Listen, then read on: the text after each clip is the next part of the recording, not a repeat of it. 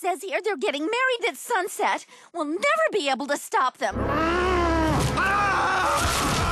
Imagine a world with no Will, no Kate, just mate all night.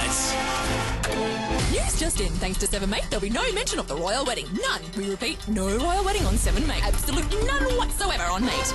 Kick your feet up for Friday Night Footy live. Swans versus Blues.